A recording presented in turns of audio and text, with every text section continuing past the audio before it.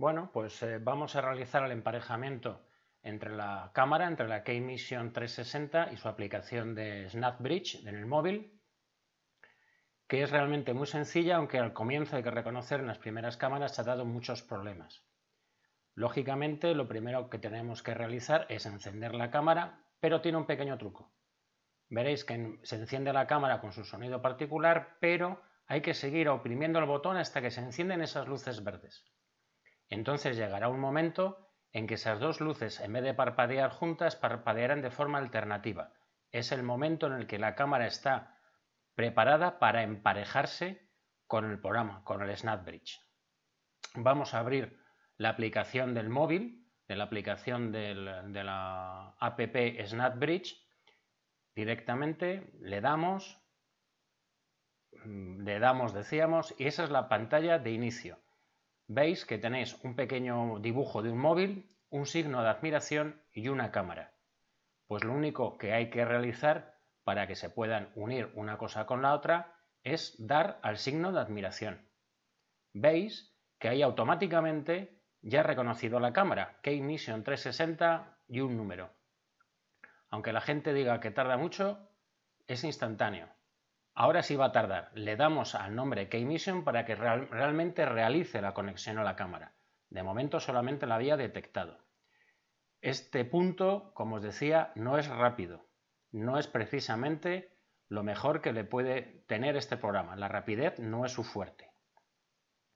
Pero llega un momento que la conexión es estable y funciona de forma correcta, al menos momentáneamente, en este momento.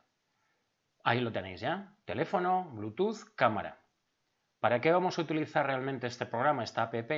Para utilizarlo como disparador remoto de la cámara, para no tener que utilizar ningún botón de la cámara. Damos en el botón de fotografía remota, veis que hay dos opciones, fotografía remota y descargar imágenes. Pues vamos a dar en fotografía remota para conectar un sistema propio de Wi-Fi. La fotografía remota requiere decimos OK para que pueda establecer ese sistema. El teléfono con la cámara es un sistema de Wi-Fi cerrado. Nuevamente esperamos. Ya os he dicho que no es rápido. Hay que darle su, tiempo para, para que conecten, pero funciona de forma perfecta, a pesar de todos los comentarios negativos que hay por la red de mucha gente que creemos nosotros que sería de las primeras que se compraron cuando realmente sí había un pequeño problema. Ahí veis que ya se ha conectado. Lo que estamos viendo en este momento en esa pantallita del móvil es lo que está viendo la cámara.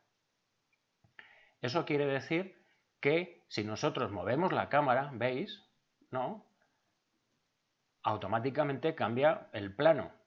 Siempre veremos lo que está viendo la cámara, la lente frontal, para poder utilizar los disparadores. Disparador realmente tiene dos, el botón izquierdo circular, blanco, que es para foto estática, y el botón central, el que tiene el puntito rojo en medio, que es el de la grabación de vídeo.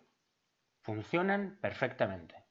Automáticamente se arranca un sistema o el otro. Una vez que hayamos terminado por pues, la sesión, las fotografías que queremos sacar, el vídeo que hayamos grabado, lo que hacemos es irnos de fotografía remota volvemos a la página inicial, ¿veis? Ahí tenemos el símbolo de Wi-Fi que va a cambiar a Bluetooth automáticamente porque hemos salido del sistema y cerramos. Pero no cerréis el programa ya. Hay que hacer un, una pequeña, un pequeño truco, vamos a decir.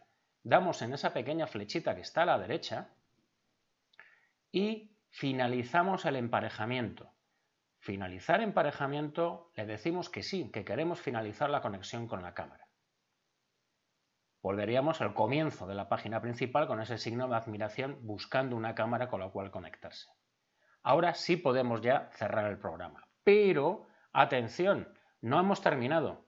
Para que realmente no tengamos problemas, tenemos que ir al sistema o a la página de ajustes, cada uno de su teléfono, eh, sea Android, sea Mac, Apple, el que sea, vamos a ajustes, Bluetooth, y ahí veis que está marcado K-Mission. O sea, yo tengo bastantes aparatos conectados, por lo que tenemos que dar es en la ruedecita del K-Mission y dar a la tecla olvidar.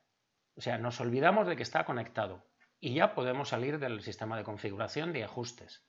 ¿Por qué hacemos esto?